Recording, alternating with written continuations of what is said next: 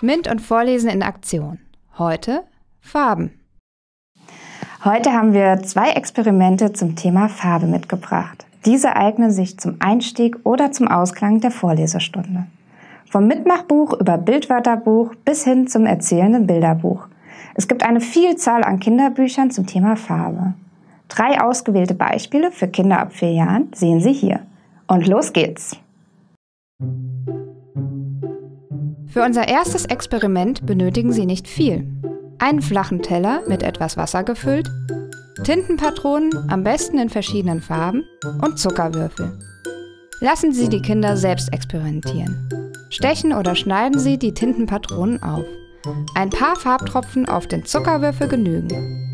Anschließend wird der Zuckerwürfel vorsichtig in das Wasser gesetzt. Jetzt gucken und staunen. Noch spannender wird es mit zwei Zuckerwürfeln, die mit unterschiedlichen Farben beträufelt sind.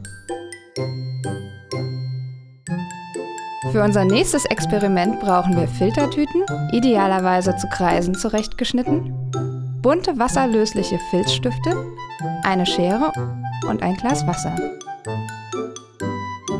Die Kinder malen zunächst bunte Muster auf das Filterpapier. Anschließend stechen Sie mit der Schere ein kleines Loch in die Mitte. Ein zusammengerolltes Filterpapier wird durch das Loch geschoben. Das Filterpapier wird auf das Glas gelegt, sodass das zusammengerollte Papier das Wasser berührt. Reden Sie mit den Kindern über das, was passiert ist. Was hast du ausprobiert? Wie hat sich das Muster verändert? Sind neue Farben entstanden?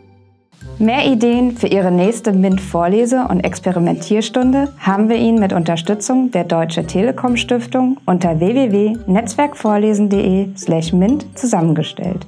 Viel Spaß beim Ausprobieren!